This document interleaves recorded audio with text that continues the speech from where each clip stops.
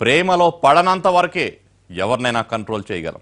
ఆ మాయలో ఒకసారి పడితే పరిస్థితి చేయి దాటినట్లే. నవ్య విషయంలో అదే జరిగింది. ఆమె అమ్మా నాన్నల విషయం ఆలస్యంగా తెలుసుకున్నారు. ఎలాగైనా నవీన్ను వదిలించుకోవాలని రాఖీ ప్లాన్ వేస్తారు. ప్రేమ ఒక మైకం అంటారు కదా? నవీన్ నవ్యల్ని చూస్తే అవుననే అనిపిస్తుంది. వీళ్ళిద్దరూ పీకల్లోతు ప్రేమలో కూరుకుపోయారు. ఎప్పుడెప్పుడు తెల్లారుతుందా? ఎప్పుడు కలుద్దామని ఎదురు చూసేవాళ్ళు నవీన్తో పరిచయానికి ముందు బాగా చదివే అమ్మాయి కాస్త ఇప్పుడు కాస్త వెనుకబడింది. మార్కులు తగ్గిపోసాగాయి. ఇంట్లో వాళ్ళకు ఫోన్ చేసిన కాలేజీ యాజమాన్యం మీ అమ్మాయి చదువుపై కాస్త శ్రద్ధ పెట్టండి అని చెప్పింది. దాంతో అమ్మా నాన్నలు ఆరా తీశారు. ఎందుకు మార్కులు తగ్గుతున్నాయని ప్రశ్నించారు.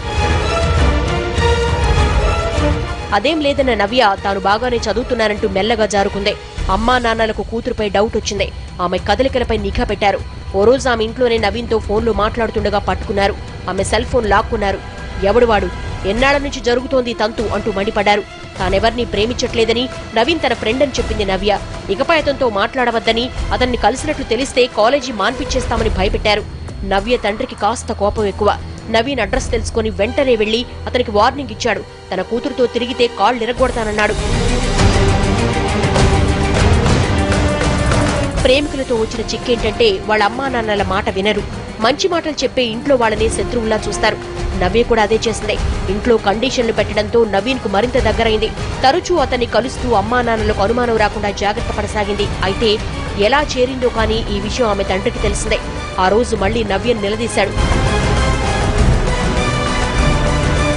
దీనికొక్కటే పరిష్కారం. నిన్ను కాలేజీ మాన్పించేయడమే అన్నాడు. కాలేజీ మాన్పిస్తే అమ్మాయి భవిష్యత్తు దెబ్బతింటుందన్న తల్లి రెండు రోజుల్లో రాఖీ పండుగ వస్తోంది కదా నవీన్కి రాఖీ కట్టించేద్దామని సలహా ఇచ్చింది. ఆ రెండు రోజులు ఆమెను ఇంట్లోనే బంధించిన తల్లిదండ్రులు నవీన్ ఇంటికి పిలిపించి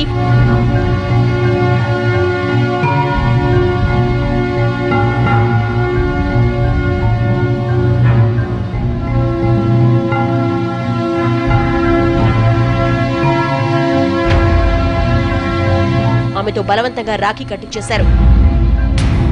ఇకపై మీరిద్దరూ అన్నా చెల్లెళ్ళు అంటూ స్వీట్లు తినిపించేశారు.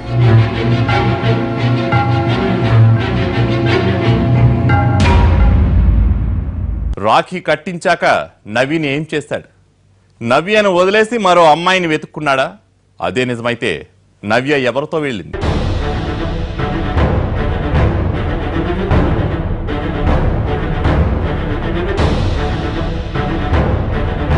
రాఖీ కట్టించిన తర్వాత నవీన్ నవ్య జోలికి రాలేదన్నారు ఆమె తల్లిదండ్రులు. పోలీసులకు మాత్రం అనుమానం తీరలేదు. వెంటనే నవీన్ ఇంటికి వెళ్ళి అతన్ని అదుపులోకి తీసుకున్నారు. రెండు రోజుల కిందటే మరో అమ్మాయిని పెళ్ళి చేసుకున్న నవీన్ పోలీసులపై మండిపడ్డాడు. ఎప్పుడో వదిలేసిన నవ్య నేనెందుకు తీసుకెళ్తానని రివర్స్ అయ్యాడు. ఇలాంటివి చాలా చూసిన పోలీసులు అతన్ని తిన్నగా కాలేజీ సమీపంలోని టీ స్టాల్ దగ్గరికి తీసుకెళ్ళారు. దాని యజమాని నవీన్ను గుర్తుపట్టాడు. ఆ రోజు సాయంత్రం ఇతనే అమ్మాయిని బైక్ పై తీసుకెళ్ళాడని చెప్పాడు. నవీన్ షాక్ అయ్యాడు.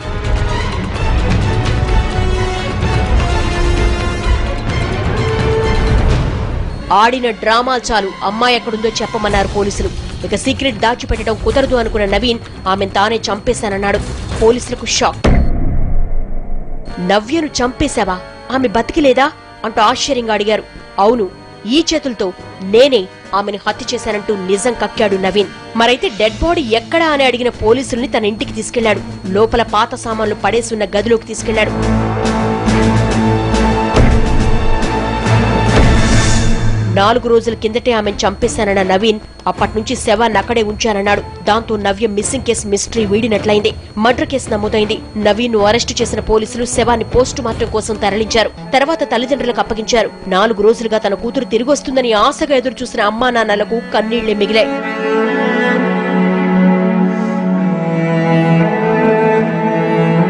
నవీన్ ఎందుకు ఆమెను